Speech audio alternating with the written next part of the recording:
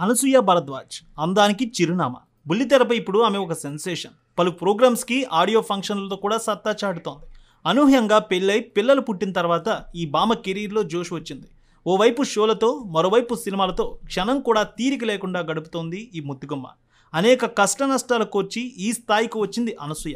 అయితే Anasuya love marriage చేసుకుందని చాలామందికి తెలియదు మరి అందాల భామ అనసూయ రియల్ స్టోరీ చూద్దాం. అందరికీ ఎంతో సుపరిచితమైన యాంకర్ అనసూయ అసలు పేరు అనసూయ కాదట. ఆమెకు తమ తల్లిదండ్రులు ముందుగా అనసూయ అనే పేరును కాకుండా పవిత్ర అనే పేరు పెట్టాలని భావించారు. అనసూయ తల్లికి తన కూతురికి పవిత్ర అనే పేరు పెట్టాలని కోరికట.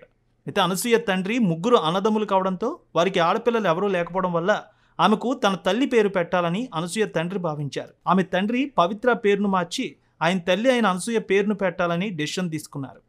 ఈ క్రమంలోనే అనసూయ వాళ్ళ నానమ్మ పేరు పెట్టుకుంది. ఇక అప్పటి పేరుతోనే తెలుగు ఇండస్ట్రీలో తనకంటూ ప్రత్యేక గుర్తింపు తెచ్చుకుంటూ దూసుకెళ్తోంది అందాల భామ అనసూయ పంతొమ్మిది వందల డెబ్బై తొమ్మిది హైదరాబాద్లో జన్మించింది.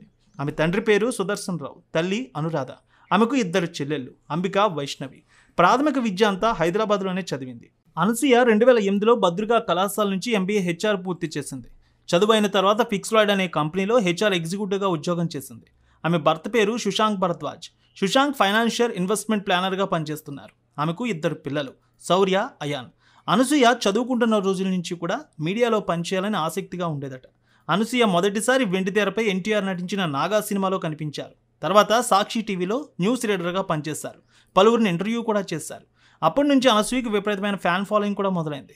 నాగా సినిమాలో నటించినందుకు అనసూయ అందుకున్న తొలి పారితోషికం ఐదు వందల రూపాయలు. అనసూయ మొదటగా యాంకర్గా మారింది మాత్రం జబర్దస్త్ ప్రోగ్రాంతోనే.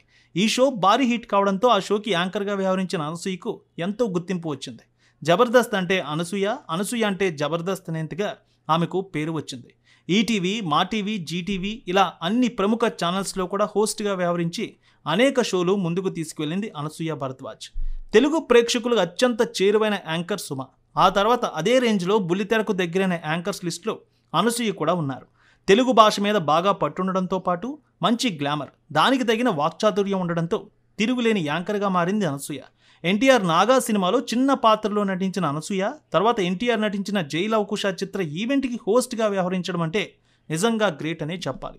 తెలుగు చలనచిత్ర పరిశ్రమలో ఇప్పటివరకు ఒక యాంకర్ మీద పాట రాయడం జరగలేదు. కానీ విన్నర్ సినిమాలో సుయ సుయ అనసూయ అనే పాటను అనసూయను దృష్టిలో పెట్టుకుని రాయడం విశేషమనే చెప్పాలి. ఇక అనసూయ నటించిన సినిమాలు ఆమె చేసిన షోలు ఒకసారి చూస్తే రెండు వేల మూడులో నాగా సినిమాలో న్యాయ విద్యార్థిగా నటించింది. ఆ తర్వాత సోగ్గాడే చిన్ననాయన క్షణం విన్నర్ గాయత్రి రంగస్థలం సినిమాలో రంగమ్మత్తగా అద్భుతంగా నటించింది. తర్వాత మీకు మాత్రమే చెబుతా కథనం. ఇక ఎఫ్ టూ ఫన్ అండ్ ఫ్రస్ట్రేషన్లో డింగ్ డాంగ్ పాటలో చేసింది యాత్రా సినిమాలో అద్భుతమైన నటన చేసింది. చావు కబురు చల్లగా థ్యాంక్ యూ బ్రదర్ పుష్ప సినిమాలో దాక్షాయినిగా నటించింది.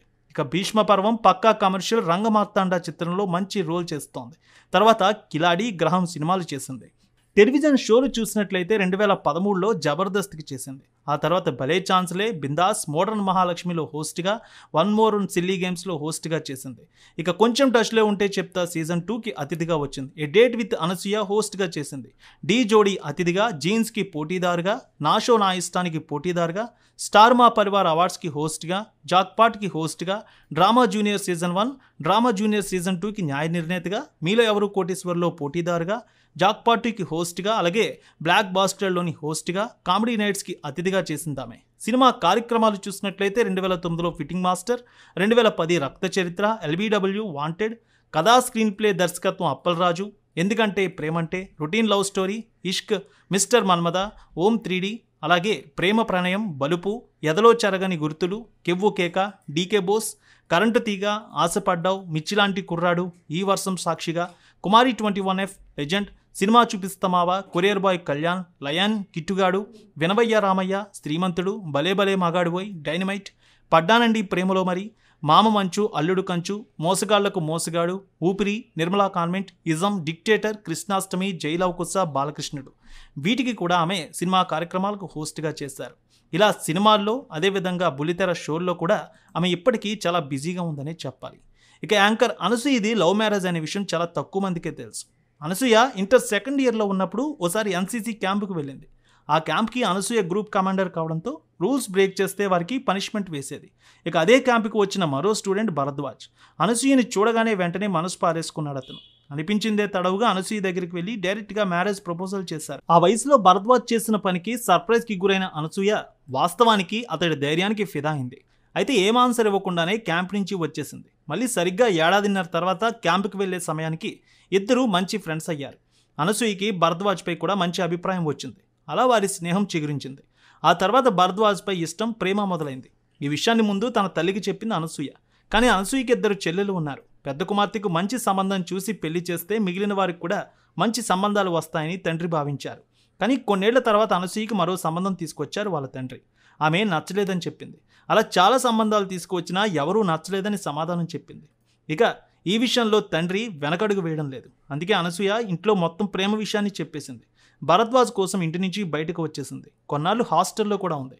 కొద్ది రోజుల తర్వాత ఇంట్లోకి రానిచ్చారు పేరెంట్స్. అయితే భరద్వాజ్తో మ్యారేజ్కి మాత్రం ససేమేరా అన్నారు తండ్రి. అనసూయ భరద్వాజ్నే పెళ్ళి చేసుకుంటానని మొండి పట్టు పట్టడంతో చేసేది లేక పెళ్ళికి ఒప్పుకున్నారు. అలా భరద్వాజ్ అనసూయకి ప్రపోజ్ చేసిన తొమ్మిది సంవత్సరాల తర్వాత వారి పెళ్ళి జరిగింది. ఈ తొమ్మిదేళ్ళ కాలంలో సహనం నశించి బయటికి వెళ్ళి పెళ్ళి చేసుకుందామని భరద్వాజ్కి చెప్పిన పేరెంట్స్ అంగీకారంతోనే పెళ్ళి జరగాలని సర్ది చెప్పేవాడట. చివరికి రెండు కుటుంబాల అంగీకారంతో రెండు వేల పది ఫిబ్రవరి పదిన అనసూయ తన ప్రేమించిన భరద్వాజ్తో ఏడడుగులు వేసింది. ఇక అనసూయ రెమ్యునరేషన్ ఆమె ఆస్తులు చూసినట్లయితే ఆమెకి హైదరాబాద్లో ఓ సొంత నివాసం కూడా ఉంది. సుమారు దాని విలువే మూడు కోట్ల రూపాయల వరకు ఉంటుందంటారు. ఇక ఆమెకు సుమారు యాభై లక్షల రూపాయలు విలువ చేసే ఆడి కారు కూడా ఉంది. ఆమెకి షోకి లక్ష నుంచి లక్షన్నర వరకు రెమ్యునరేషన్ ఉంటుందట. సినిమాకి ఐదు నుంచి పది లక్షల రూపాయల వరకు పారితోషికం ఉంటుంది. సినిమా పాత్ర బట్టి. ఇక బయట చేసే ఈవెంట్లకి లక్ష నుంచి రెండున్నర లక్షల వరకు ఫంక్షన్ల రెమ్యునరేషన్ ఉంటుంది. ఏడాదికి సుమారు ఒకటి నుంచి రెండున్నర కోట్ల రూపాయల వరకు ఆదాయం ఉంటుంది. ఆమె ఆస్తి సుమారు ఇరవై కోట్ల రూపాయల వరకు ఉంటుందని బుల్లితెర వర్గాలు చెబుతూ ఉంటాయి.